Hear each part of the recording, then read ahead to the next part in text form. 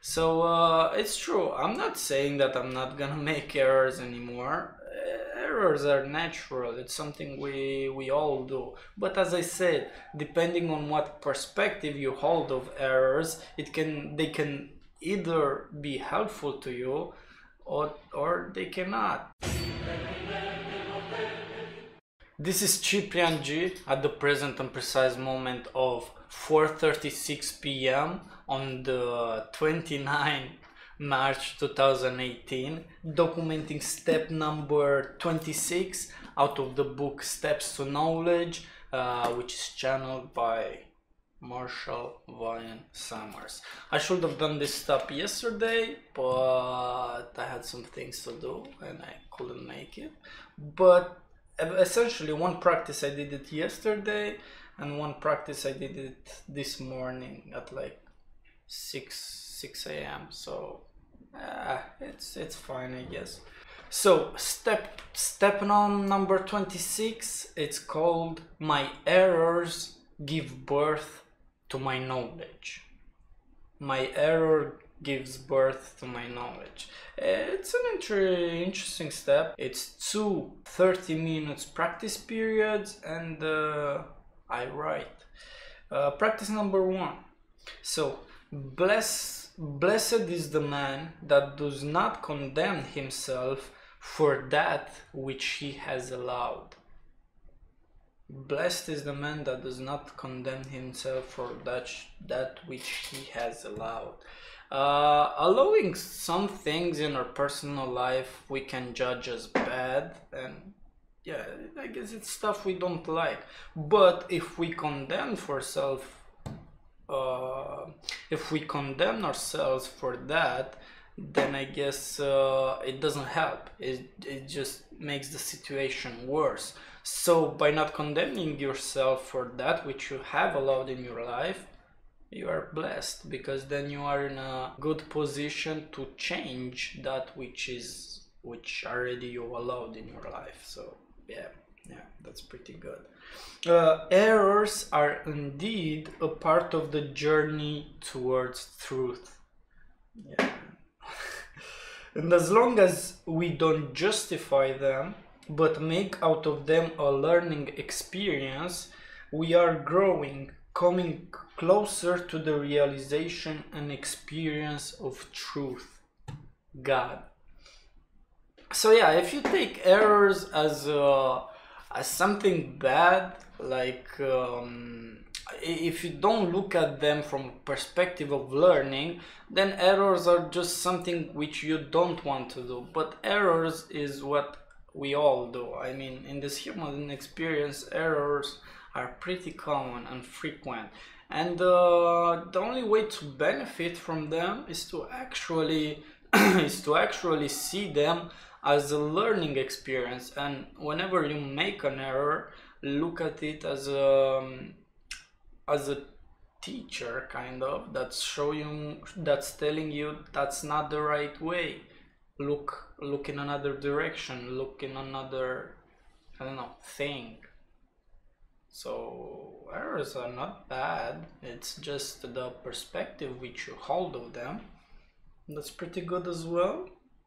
I can see how the many errors I have done paved the way for me as I choose to learn from them to find myself in God, which is not two but one. Now, I guess this has been a lot of my mind since, since I'm recalling it in like almost every step. Uh, these three last steps, I've been recalling it a lot because that's that's where my mind is right now. But um, yeah, it's true. Like looking at all the errors I did so far, uh, the fact that I did look at them and I understand, I understood that they were errors allowed me to move in another direction and eventually find my way to God, which is not separate, but it's one with me and with every one of us. Pretty good, pretty good. So I guess that was practice number one, and practice number two, which I did, uh, which I did uh, this morning at around 6 a.m. Uh, I write thus each error I made and the suffering that comes that uh, each error I made and the suffering that came with it helped me revalue what what I was doing uh, and in which direction I was going, thus helping me become the man that I am today. So uh, it's true. I'm not saying that I'm not gonna make errors anymore.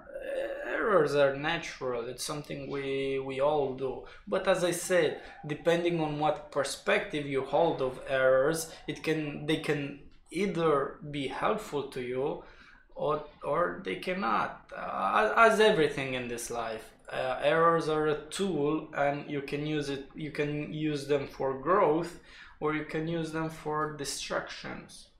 Uh, that's your choice. Conscious or unconscious. Uh, yeah, you have to sort that out for yourself. Um, one, signi- one uh, significant error was to give my creative power to external things, thinking that those were the factors that influenced the life I was living. But this error helped too. Uh, it made me eventually come into an into and understand to a certain degree uh, the true law the true law of our being which is that i and my father are one again we return to the same uh, to the same point but as i said this has been on my mind quite a lot lately so that's why uh, i guess i'm um, i'm coming back it in like every fucking thing i write and it's probably gonna be happening for some more steps but it's not it's not a bad thing. It's a it's actually like reiter- reiteration for me so that's really good. But uh, as i say here yeah one uh, one big error that we all make uh, essentially all make until until we come until we search enough for the truth to find it it's that uh, we give our creative power to external things, thinking that external things are the factors that determine our life, that um, make our life what it is, that made our life what it is, not knowing that the truth is that we actually made our own life by uh, by our focus of attention, but by uh, what we choose to get impressed by, by what we choose to give our attention to, and uh, stuff like that. It's all about consciousness. It's all about where you place your focus on of attention and intention and uh, stuff like that.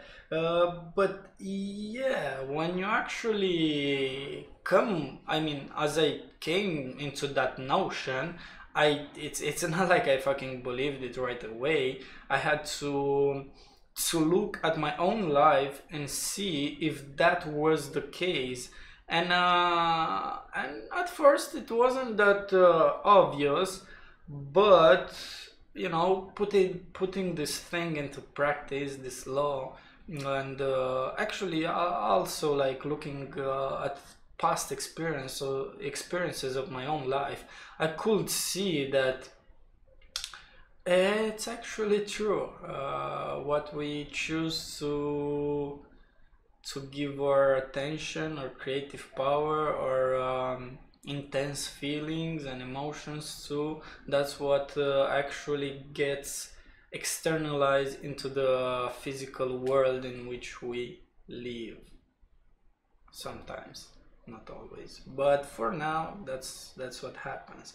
So um damn this was a really interesting step you know? I mean every step seems to be fucking interesting but uh, as i said this one was interesting as well.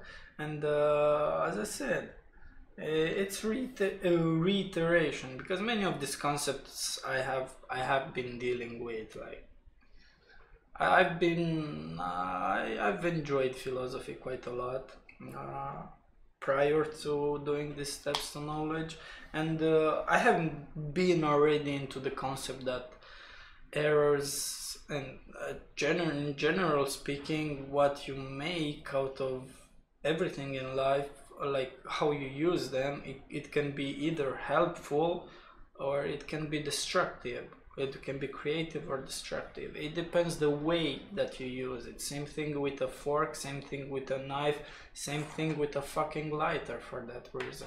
So, um, yeah. I guess this has been step number 26. It's been uh, it's been really good. Let me know if you agree with some of the things I said. If you don't agree, uh, maybe we can start a conversation and uh, I guess talk about that. Your choice, baby, always. So uh, yeah, this has been Ciprian G at the present and precise moment of 447 and uh, documenting step number 26 from the book Step of Knowledge. And I thank you for being here. And Ciprian G is out. Bam.